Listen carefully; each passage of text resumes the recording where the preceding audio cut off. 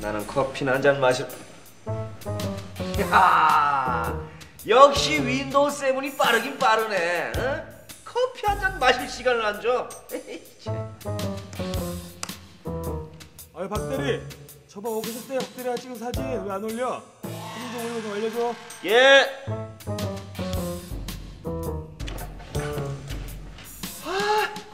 아, 이 사진 이거 그대로 올렸다가 못 찍었다고 또 혼날 텐데. 아, 이거 어쩌지 이거?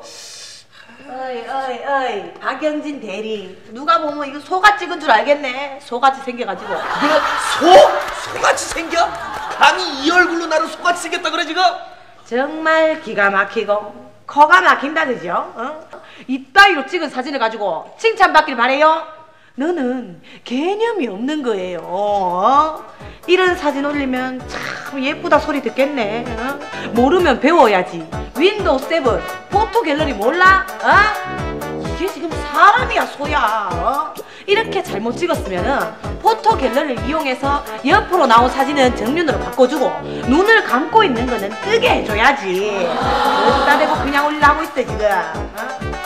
아이고 아이고 박영진 대리 또 멍청하게 하나하나 올리려고 있네 어? 스카이 드라이브를 모르니 그럴 수밖에 없다 그죠? 스카이 드라이브는 너 같은 사람한테도 25GB나 되는 용량을 주거든요 이런 남자들도 포토 갤러리 때문에 월급 꼬박꼬박 받아가는데 모르면 좀 배워라 배워 남자의 힘든 직장 생활을 매도하지 마.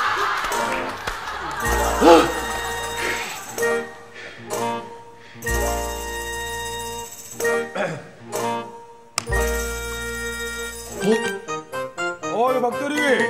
사진 잘 찍었는데. 아, 인물이 확 살아